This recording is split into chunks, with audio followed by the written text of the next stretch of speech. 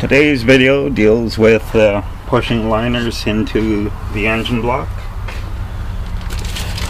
I've already started one, it's a little tight. What I've done to get that one in that far was a little bit of hammering against a piece of uh, ash wood.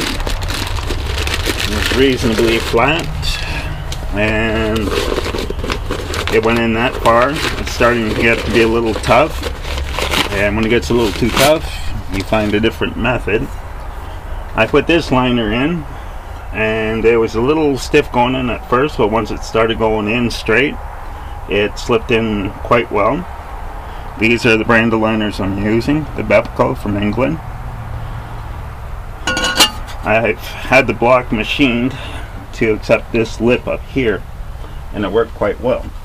So essentially I'm just going to show you the tapping it in portion. And when it gets to be a little too hard I'm actually going to use the bucket as my uh, stop to use a jack to push the liners the rest of the way in. But here's the way I've been doing it so far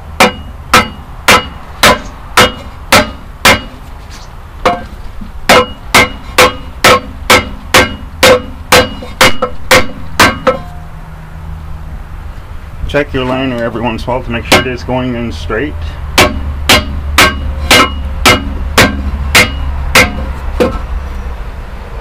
So once it gets to a certain point, it'll probably be more than likely you want to fall in.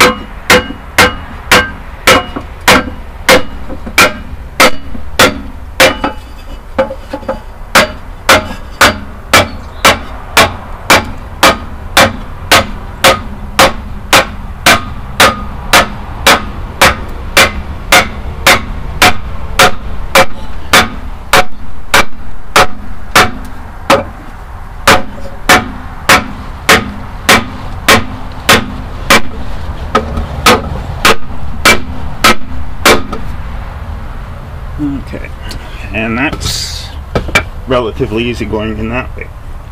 Now one thing I did before I started to uh, put the liners in was I cleaned up any rust and rough edges using a little wheel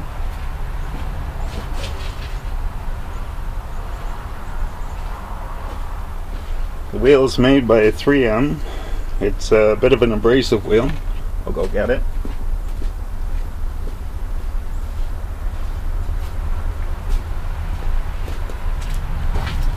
This is the wheel I used.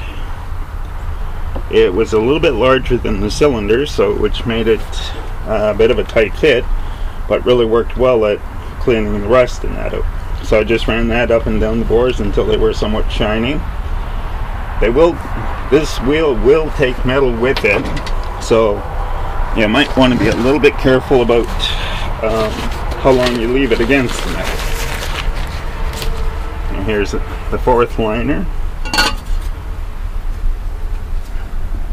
And we'll try that. And as you can see the board does take a fair bit of punishment. Does split. So very, very carefully, well not really so much carefully, but definitely make sure that your cylinder is properly lined up. Because it'll go a lot easier if it does.